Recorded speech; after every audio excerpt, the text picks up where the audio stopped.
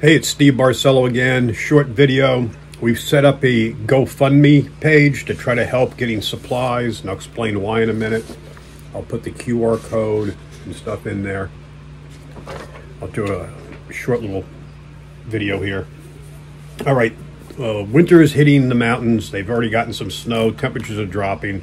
These people have, a lot of these areas have nothing, no power, nothing. So they need things that are being asked for are like uh, little buddy heaters. Now looking up prices, these things aren't cheap. I mean, 80 to 125, and they can go above that if you get the bigger, fancy ones. These are propane, one pound tanks. Camp stove, something to cook off, and it, plus it'll be a heat source too.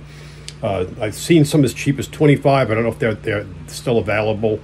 Uh, up to a hundred bucks. And once again, I think you're going to be fifty dollar range. I think you'll find your normal camp stove double burner, take a propane tank, one pounder, or you hook up to a B tank if you not a B tank, a uh, 20 pounder if you have it uh, for probably around 50 bucks, I think that. So if we can get a good deal on those, get some money in. Uh, phone chargers. So not just the cords, but the actual chargers themselves. Some are solar, some just you plug in and charge at another location. And a lot of those have a, uh, a light built into, so it works as a flashlight. Plus, it's a way to charge a phone. You're not not, not going to do a lot more with them besides that. Uh, it's a basic thing. And those aren't too bad. The phone charger is going to be somewhere like you might even get them cheaper. I've seen. I'm going to say about ten bucks on up, and those you can go as up, up as much as you know thirty dollars, or you can pay a lot if you want to get a real fancy one. But we just need basic stuff right now to get your communications out there. Ah, so we need uh, a, uh, power packs, sort of like Jackeries, uh, Blue Yetis. Now they can get expensive too. There are cheap ones. There's some under hundred dollars. To be small. Be a basic. Uh, be a fancy phone charger. Basically, we'll have a 110 outlet in there uh, be allow them to do something small. You're not going to run a microwave. You're not going to. You maybe if you get some of the slightly bigger ones, you might do a coffee maker. I mean, they have monster ones you can do a lot with, but I'm talking just basic stuff we can get. So those are anywhere from like I'd say on the low end, maybe if you're lucky, 80 bucks. More likely about 100, and that'd be a pretty small one, like a real basic Jackery, more like 125, I'd imagine. You know, 400 plus wherever you go with them. Starlink systems, those are expensive. Now, uh, Starlink is giving, I believe, at least three months free, and that's $150 a month, or less. Maybe they're already giving them the $50 uh, plan. I don't know what they're giving, but they give them something free. But you still got to buy the equipment. So the Starlinks are about 500 bucks for the equipment, and then once you get them out there, multiple people can use it. You can set up a, a, a hotspot and let people get on. Uh, flashlights, rechargeable flashlights. Those aren't too expensive. Uh, we're looking for something. You can get battery operated ones, but then we have to have a way to charge the batteries or get an endless supply of batteries. Uh, headlamps are a good thing to get.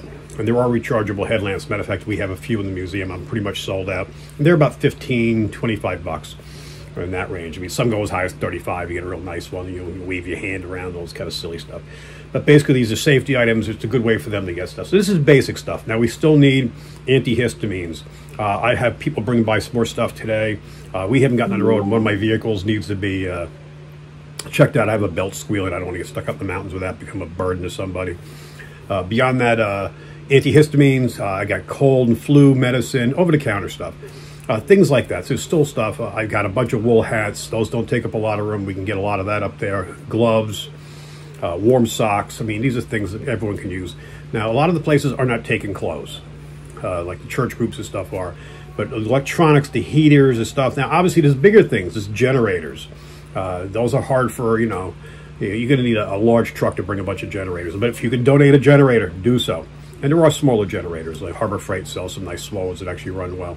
And then on top of this, now once they get these things, they're going to need the fuel to run them. They're going to need uh, even some uh, little extension cords or drop cords, as they're called around here uh, just to plug things in, you know, three-way splitters, things of that sort. We'll, we'll, we'll, keep the list going, but this is the things I'm being told to get. So the price of these items are getting more expensive. It's not just cases of water, boxes of, uh, you know, cereal, and, you know, canned food. And, you know, they still need canned food, too. I mean, anything with, the, with a pull top. I got a bunch of soups and stuff I'm bringing up. I was just able to get it cheap. But they do have pretty much, they got the MREs there. They got a, lot of water most of these places. Uh, I'm not sure how the diapers and stuff are going, but that's another bulk item, just like toilet paper and paper towel. I'm, I'm hearing that those are coming in. Uh, Walmart's been good, a lot of other places. Now I'm going to do a whole other thing later on animals. I'm waiting to hear back from PETA. and uh, find out what they need as far as uh, dog food, uh, pet supplies. I got a whole bunch of dog bowls, things like that. I brought dog food and cat food up last time. Another thing that gets gets to be bulky real quick. Uh, but just find out what else they need. I'll do a whole separate video on that. Uh, please uh, share this.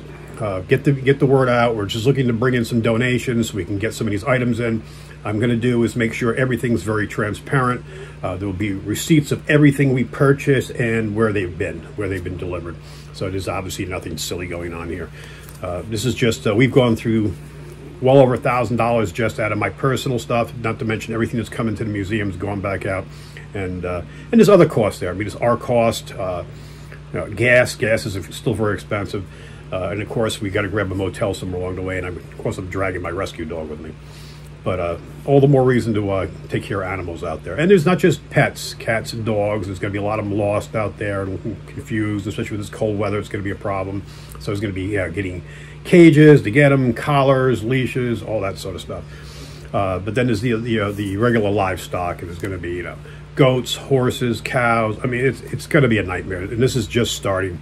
I mean, you know, we're just getting up there uh, where they're still looking for people. I mean, it's a mess. This is going to go on for months and months and months, and the rebuild's probably going to take a year or better, maybe even two. All right, thanks for watching. Everyone be good to each other do us do me a favor, share this link, get the QR code out there, and let's. Uh, and if anyone thinks there's something we're missing, put it down below. All right, thanks.